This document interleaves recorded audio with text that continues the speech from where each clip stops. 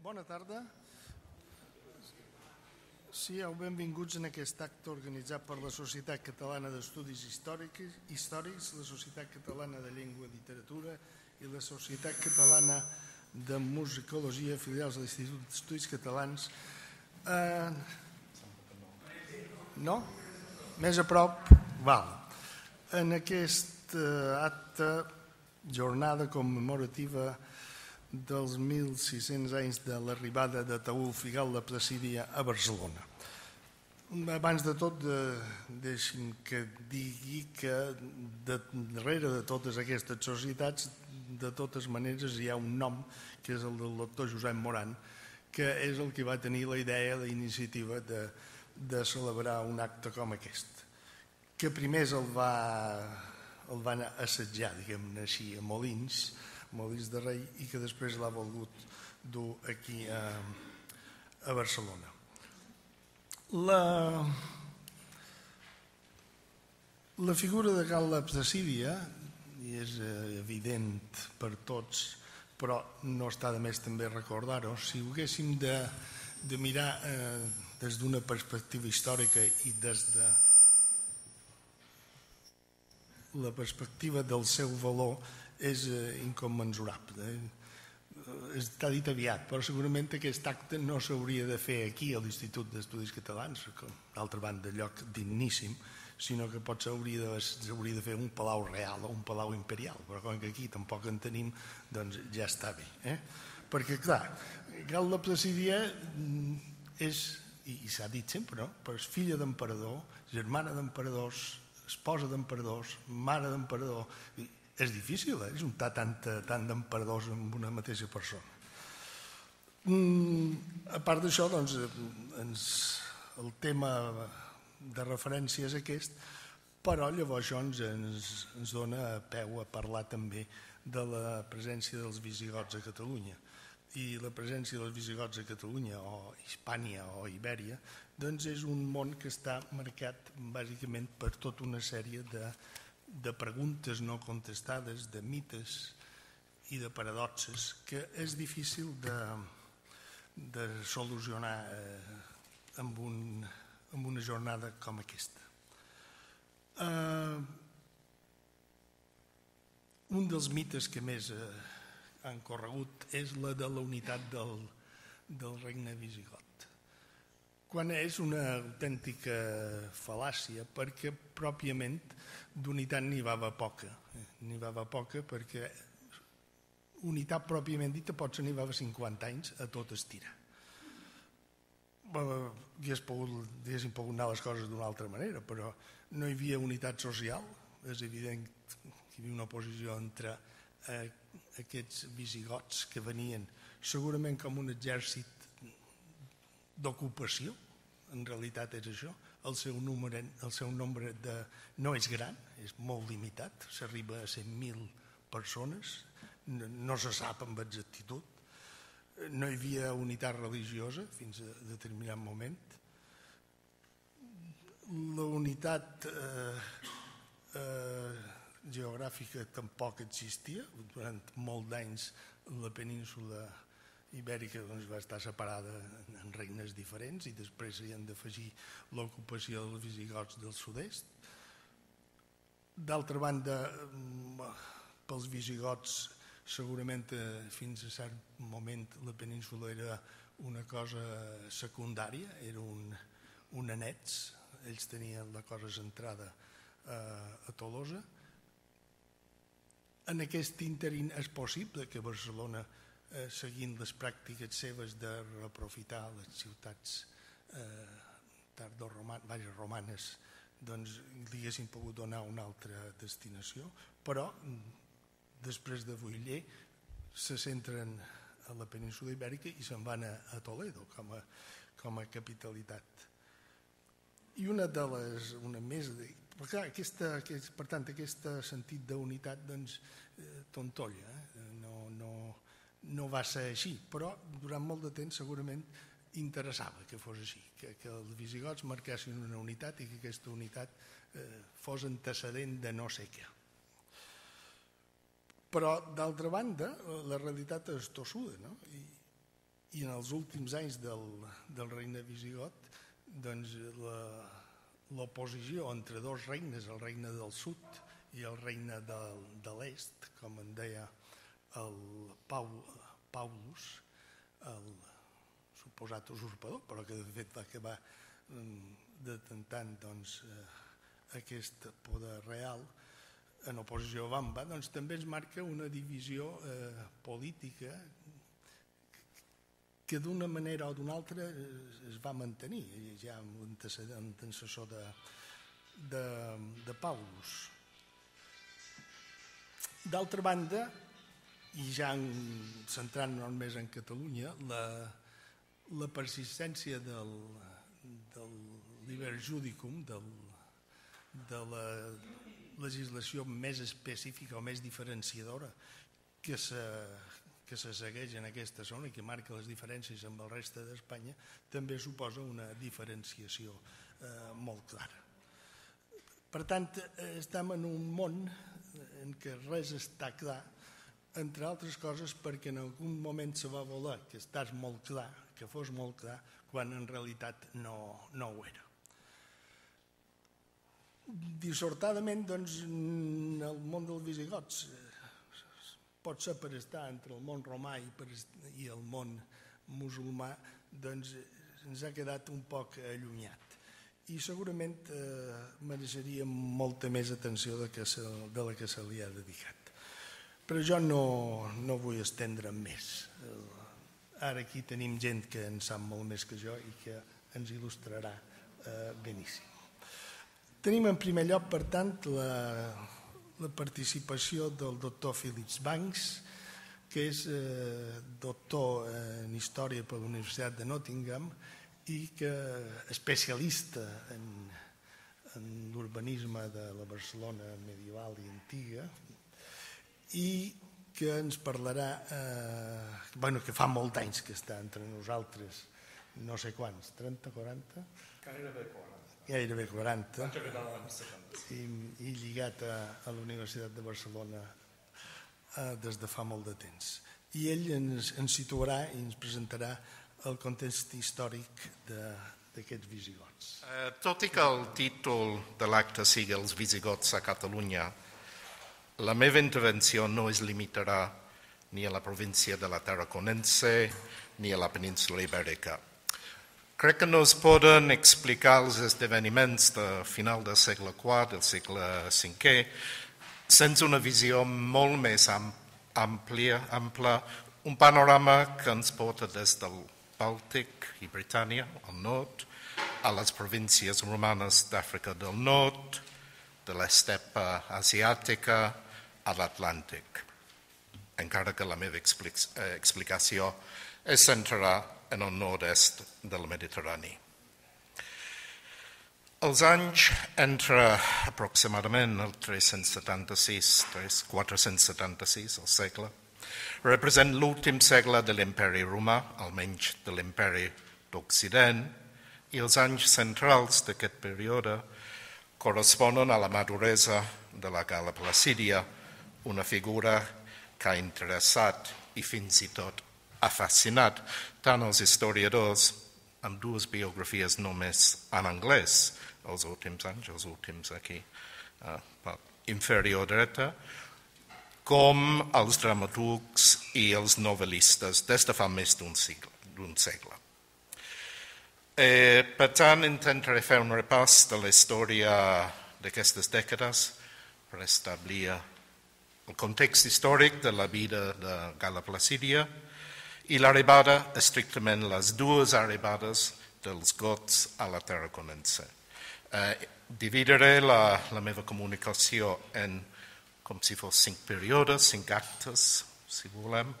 El primer, 376-406, l'arribada eh, dels gots a l'imperi, una mica de digressió sobre, sobre la, la seva història anterior, els usurpadors en una segona part que no ha de tenir més importància potser que eh, els, els visigots, els gots eh, en eh, aquest segon moment.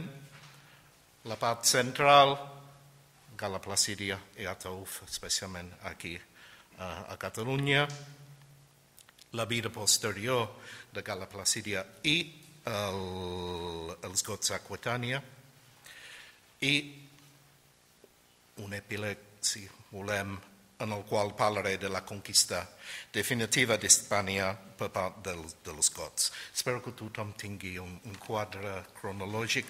Em sap greu que la letra sigui tan petita, però hi ha molta gent eh, a l'escenari eh, aquí. Començarem l'any 376, quan alguns dels gots a la frontera del Danubi uh, van sol·licitar permís per travessar el riu i establir-se dins de l'imperi, la qual cosa es va concedir. Eh, però abans de continuar la seva història, diré quatre paraules sobre els orígens dels gots. La nostra manera d'entendre els pobles germànics ha canviat molt des de, des de mitjan segle XX. Uh, amb anterioritat s'entenia que la raça, el poble, es podien relacionar sense dificultat amb una cultura arqueològica i una llengua. Els estudis de les últimes dècades però han demostrat que els grups que van entrar en l'imperi a finals del segle IV i al llarg del segle V no eren de cap manera pobles homogenis amb un origen únic que es pugui identificar amb una cultura arqueològica. Eh, la tradició dels mateixos gots explicaven que, explicava que provenien del Bàltic i encara avui hi trobem topònims, la illa de Gotland, aquesta zona aquí, Götaland, que es podrien relacionar amb aquest poble. Pot ser que un grup hi tingués els seus orígens, però la cultura arqueològica que té una relació més clara eh, amb els gots posteriors és la cultura vilba, eh, que es troba al nord de la Polònia actual, els primers segles després de, de Crist. Un segles més tard, a partir del segle III, eh, aquesta cultura es mou cap al sud i sembla força clara, eh, clar que per una vegada que hi va haver un moviment de persones que va donar lloc a la cultura Txernjakova, aquesta zona, aquí, que es trobava a l'Ucraïna, Romània, eh, Romània, Moldàvia, Belarus actuals, entre el Danubi i el Don, especialment entre el 230 i el 380. A més, a partir del mateix moment es troben molts soldats gots a les files de l'exèrcit romà. Eh, no es pot relacionar, però, aquesta cultura amb un poble unificat. En realitat, dins dels gots hi havia com a mínim, com a mínim sis i tal vegada fins a 12 subdivisions, cadascuna amb el seu rei o jutge. Al llarg del segle IV hi havia uns contactes estrets a la frontera del Danubi, tant militars com comercials. Les autoritats romanes pagaven unes quantitats als capdils gots i els seus fills s'educaven a Constantinople. Alguns es van convertir al cristianisme pels votants del 340 per tant, el seu nivell de romanització era considerable. La pressió dels uns va crear un efecte domino i va catalitzar eh, la petició dels líders gots del 376. Dos grups, dos del, del 6 o del, dels 12, eh, van entrar en l'Iperi, però no van rebre ni les terres ni les provisions que els romans els havien promès. Aquesta situació va portar una rebel·lió i un atac contra les forces de l'imperi que va culminar en la batalla d'Adrianòpolis l'agost de 378, durant la qual van derrotar l'exèrcit romà i l'emperador Valent va perdre la vida. Aquesta situació va, va destabilitzar l'imperi l'imperi d'Orient, i va animar els moviments dels usurpadors a l'Occident. Gracià, l'emperador d'Occident, va heretar tot l'imperi i va convocar Teodosi, d'origen hispà i pare de Gala Placídia, a combatre els bàrbars. I en diversos combats parcials van, uh, va aconseguir l'extermini d'una part dels gots i la salvació de Constantinople.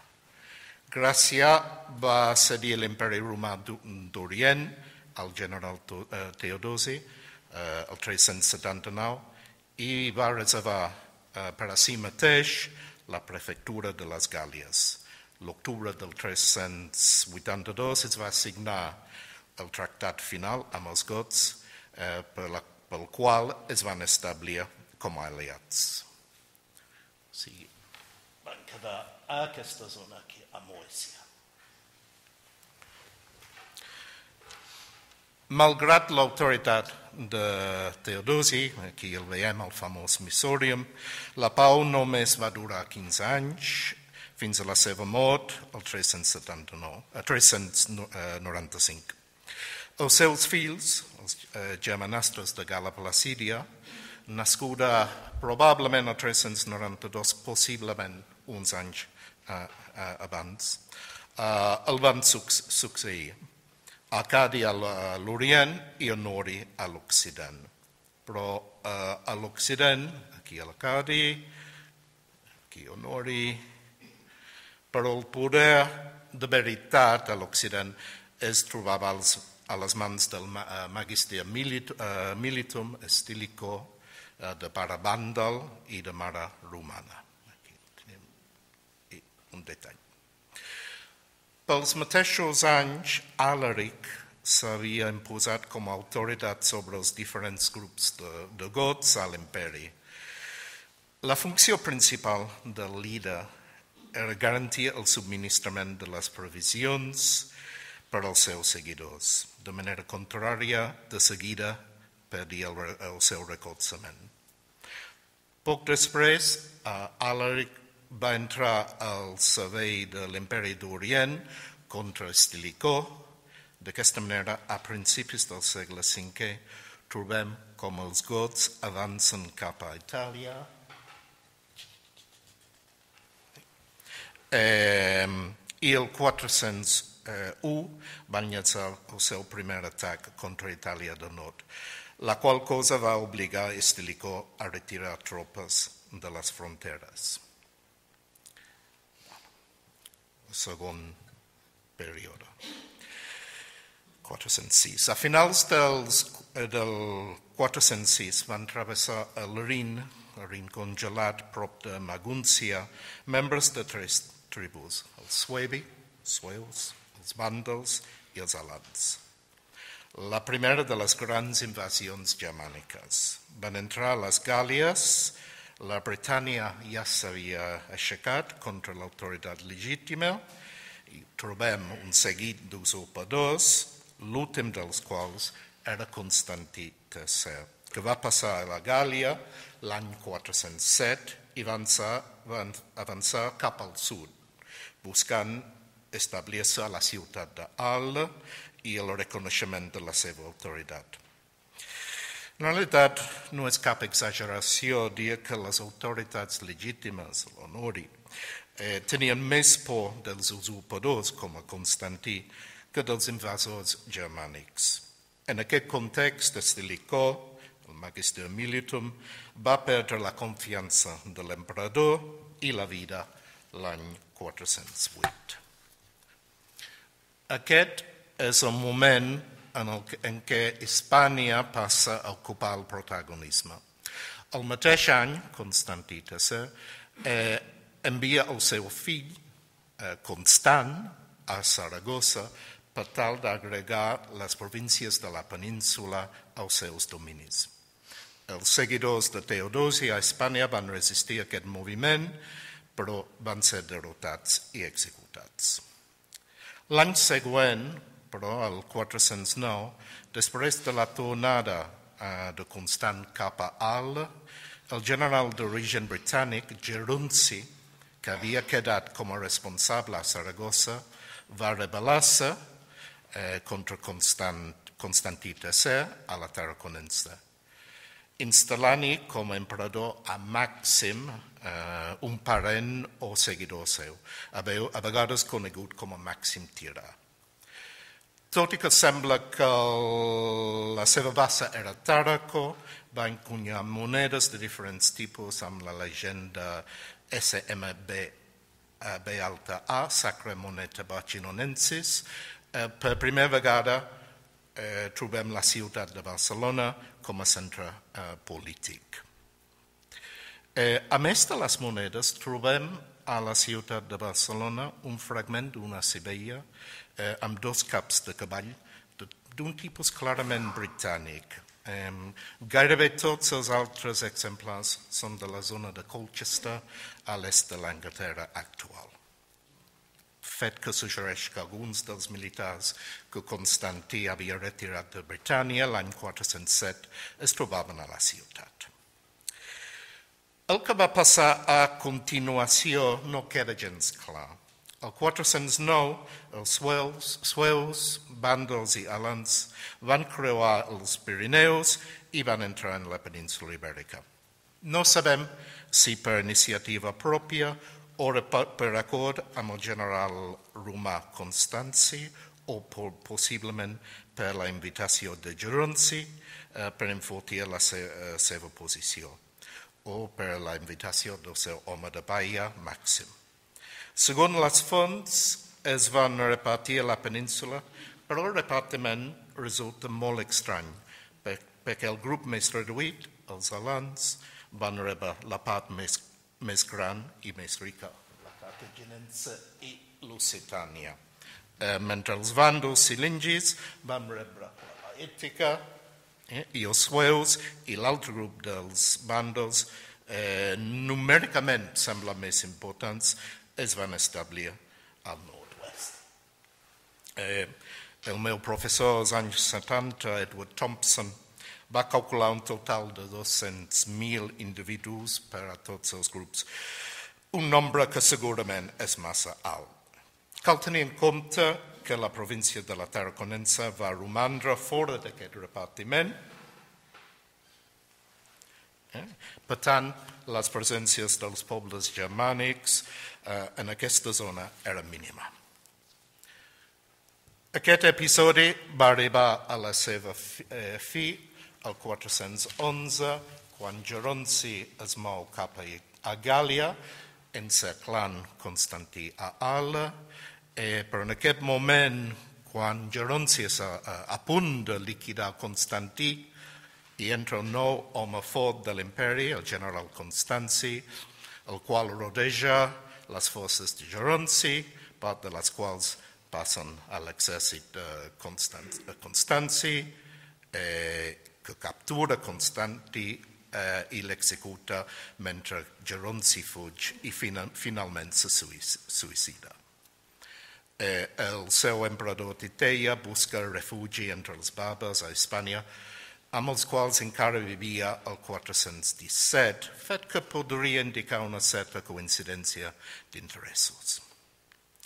Tornant cap a l'Orient, eh, Després la caiguda de Stilicó, el líder got Alaric es tro trobava en una posició per negociar l'emperador Honori a Ravenna, però sense aconseguir el, seus el seu objectiu de terres, diners i un càrrec important. Després de diverses campanya, campanyes entre els anys 408 i 410, finalment, l'agost del 410, Alaric ataca la ciutat de Roma i la captura. Eh, I durant aquest setge, o possiblement durant un d'anterior, la Gala Placidia eh, va caure a, a, les, a les seves mans. L'exèrcit eh, dels gots eh, es mou cap al sud buscant la manera de passar a Sicília, una zona molt rica, o fins i tot a les províncies d'Àfrica, que enviaven una gran part del blat que es produïa a Roma, però no tenen èxit.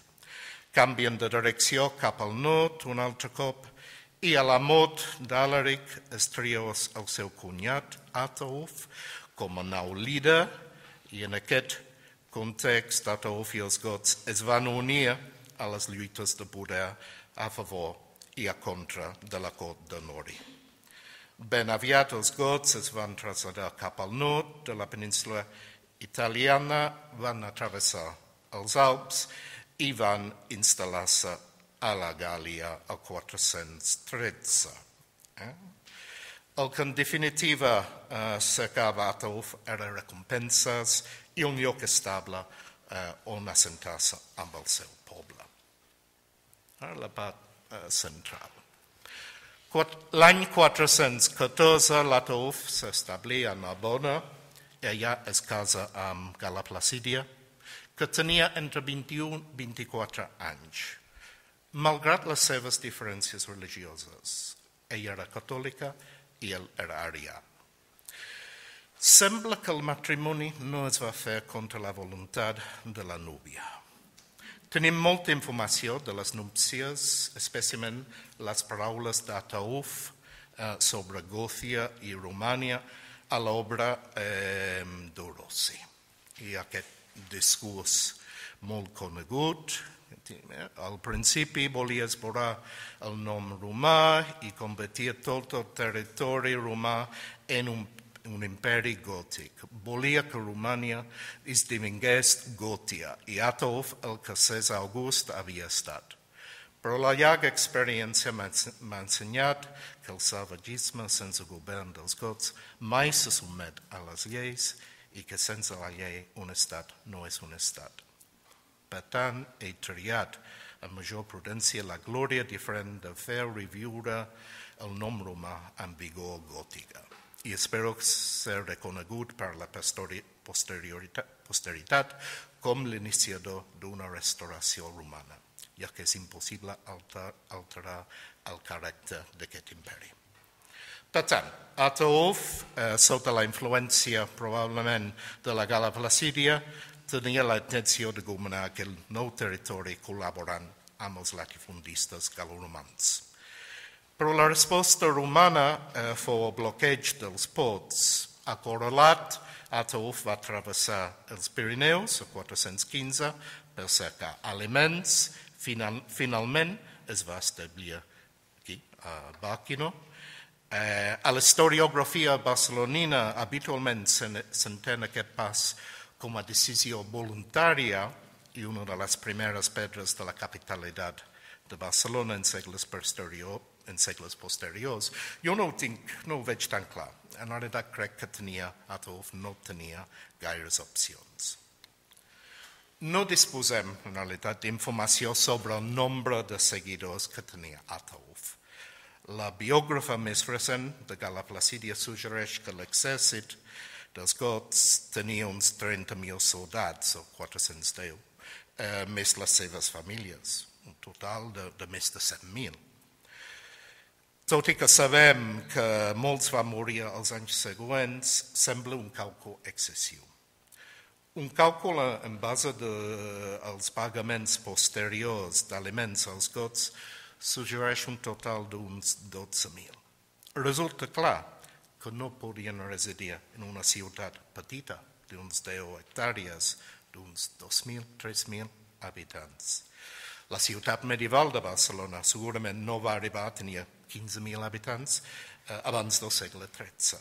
Per tant, s'ha de suposar que la majoria es van establir a les proximitats al territori de Barcelona i tal vegada a les ciutats properes.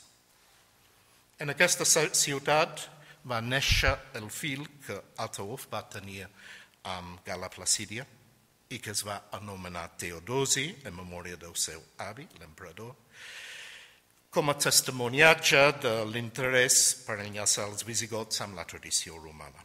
Però l'infant va morir al cap de pocs mesos i va rebre sepultura a una, a una església petita a prop de la ciutat. En una una de plata, diu l'imperador de Tebe, possiblement semblant, possiblement, a l'una de projecte avui en dia al Museu Britànic. Alguns estudiosos han suggerit la possibilitat d'una sepultura a Sant Cugat de, de Vallès, altres la capella funerària a la plaça d'Antoni Maura, Via Laetana. Eh, en realitat no disposem d'informació sobre el tema. La situació eh, en territori hispànic no va millorar, tot el contrari, Arran de la seva política de cooperació, i d'apropament als romans, Atauf va ser assassinat l'agost del 415 a les cavallerisses del Palau a, a Barcelona, víctima d'una conspiració de la qual n'era cap sigeric. Atauf no va morir a l'acte i en el llit de mort va designar el seu germà germà menor com a successor, però finalment el va succeir Sigeric. Tanmateix, el seu regnat només va, només va durar una setmana, suficient com per ordenar sis fills del primer matrimoni d'Atauf, així com humiliar a Gala Placidia. L'història de l'Olimpiador de Tebe eh, ens explica que la va fer caminar 12 milles segurament eh, fins al lloc que es diu duodècimo als documents del segle XI a prop de Molins de Rei. El fet de fer anar Gala Placidia davant del seu cavall durant un trajecte llarg té tot l'aspecte de la celebració d'un triomf romà. A la cerimònia de triomfos, l'emperador vencedor realitzava la processió per la ciutat, ciutat precedit dels reis vençuts amb els presoners. Segurament el recorregut es feia per les zones a les quals habitaven els gots establerts a Bàquil. Després de la mort de Sigeric, es va triar Vàlia com a successor. Com Alaric va intentar passar a la província d'Àfrica, el graner de l'imperi, per posar fi a la crisi de subsistència. Finalment, va haver de pactar un feidos, un acord, amb els romans a canvi de subministraments pel seu poble. Eh, a canvi, Bàlia va haver de restituir la Gala Placidia a la cort romana. El mes, a més, els romans, representats per Constanci, va demanar-li la intervenció militar a Espanya per posar sota control les províncies més riques en mans d'altres pobles bàrbars. Al llarg dels, del 417-418 van aniquilar els vàndols cilíngils alans, però abans de reduir les altres tribus germàniques, les autoritats romanes van establir els gots a Aquitània, mitjançant el sistema d'hospitalitats, per la qual vam rebre un, una part de les terres entre les ciutats de Tolosa, de Llenguadoc i Bordeus. El motiu d'aquest canvi de política per part dels romans són tema de debat entre els historiadors. Quin perill hi havia a Aquitània? Pirates saxons? No sembla probable. Altres pobles germànics? Potser. Els Bacaudai, una pagesia en rebel·lió a Amòrica? O s'ha de buscar el motiu a la península ibèrica? Tenien por eh, de permetre que els gots destruïssin tots els seus competidors? Quota patat. Com hem vist, Gala Placidia va tornar a la seva família, a Ravenna, eh, el seu german, germanastre, eh, l'emperador eh, Honori, la va pressionar per casar-la amb el líder militar Constanci. Desig que Gala Placidia va complir, però sembla no de bon grat. Honori no va tenir fills, per tant, els fills de Gala Placidia estaven destinats a ocupar el tron imperial, va tenir dos, Justa Grata Honoria i Valentinià, el futur emperador, nascut el 419. Eh, primer, eh, a continuació, Honori va declarar August Constanci, aquí la veiem a la moneda, però va morir eh, el 421. Primer, hi va haver una molt bona relació entre Honori i Placidia, però després va derivar en enemistat i odi eh, amb tumults a. Finalment, Placidia i el seu fill van haver de fugir, 423, cap a Constantinople. Eh, els fets de la mort d'Honori i la usurpació següent d'un alt funcionari van fer decidir Teodosi ajudar Placidia a qui va autoritzar a reassumir el títol d'Augusta eh, i foren enviats a Itàlia 424 amb un fort exèrcit. Eh, el govern d'Occident es va quedar en mans de Valentinià, però nen, aleshores la seva mare, Gala Placidia, eh, tenia l'autoritat. En la seva regència, Gala es va mostrar intolerant amb les sectes religioses, també va tenir un paper important en la codificació legal. El novembre del 450, bueno, el 437, es va retirar la vida privada i es, es va dedicar a obres religioses. Va morir el 450 a Roma, eh, va fer construir abans dues basíliques a Ravenna, la de Sant Joan Evangelista, ara reconstruïda, i la de la Santa Creu, eh, de la segona, només en romanen algunes restes i l'oratori annex, conegut com a mausoleu de Gala Placidia, tot i que segurament les seves restes van rebre sepultura a Roma. Eh, durant aquest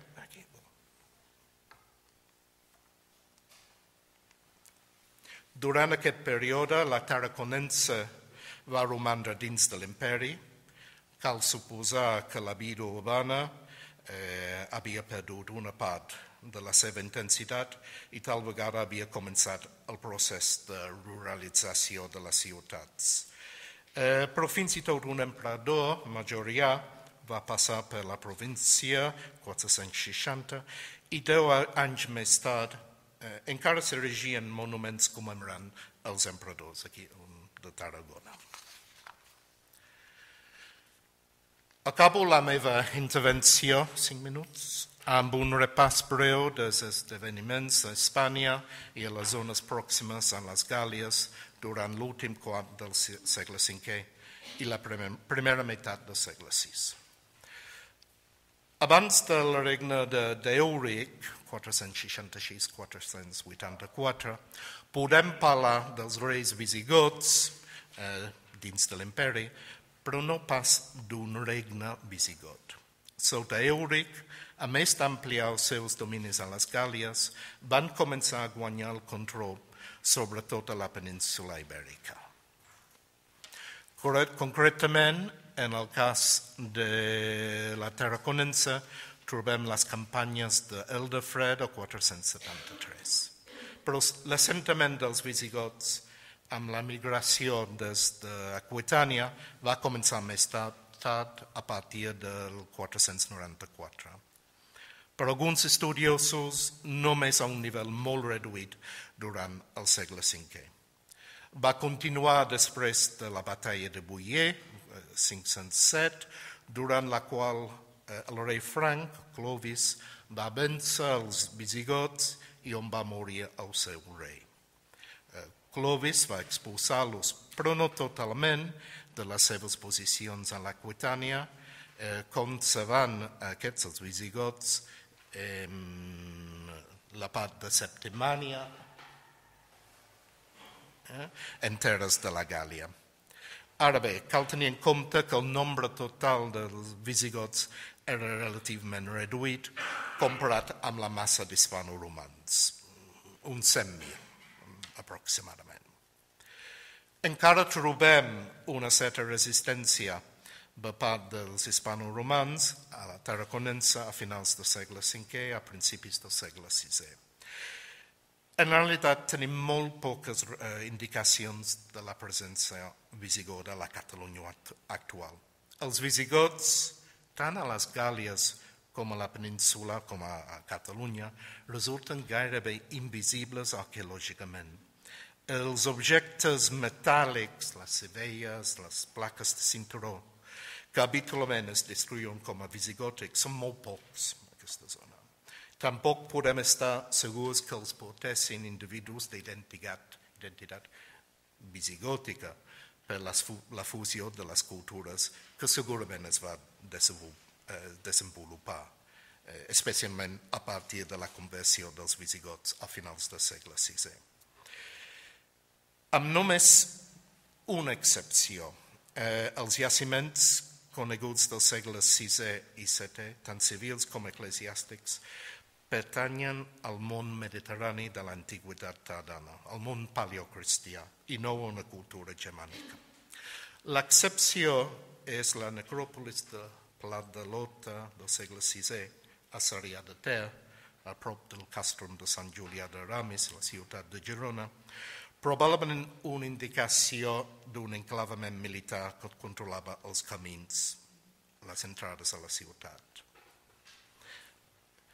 També hauríem d'esmentar la necròpolis més gran a Estegell, a la Catalunya Nord, excavada fa 70 anys.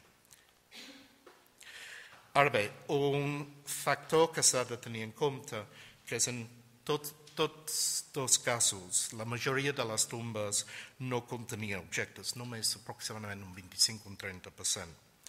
Eh, I al segle VII sembla que aquesta proporció es redueix encara més. Eh, per tant, podria ser que les troballes aïllades que tenim indiquen una presència d'alguns gots a les comunitats rurals. Tot i així, probablement hem de pensar en una concentració dels pocs visigots a les ciutats i les seves rodalies. A ciutats com Barcelona trobem bisbes arians, visigòtics, fins a la conversió dels visigots una presència que s'ha vist reforçada amb els últims eh, descobriments arqueològics a l'església de Sant Just. Hi ha altres indicacions d'una presència visigòtica a la ciutat, com serien l'exili de Joan de Bicla i l'existència d'un palau real durant les primeres dècades del segle VI. De moment, a les zones rurals de la Tarraconense ens manquen indicacions clares de la seva presència ha de correspondre, per tant, a altres ciències com la filologia llançar més llum sobre aquest tema. Gràcies per la vostra atenció.